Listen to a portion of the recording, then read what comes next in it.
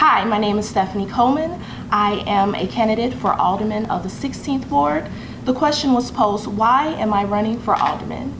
Well, I grew up in the 16th Ward my entire life. I have achieved the American dream. Not only have I received my bachelor's, but my postgraduate degree in business management and nonprofit management.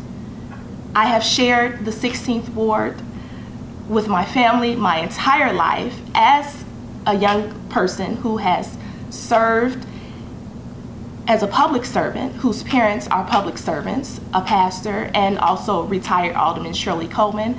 I've shared there's a personal thing with the 16th Ward because it has been the other relative in my family. I will not only use my educational background, but my public service background in leading and helping the residents of the 16th Ward. I'm running to not only serve, but to dedicate and commit all resources that the 16th Ward desires.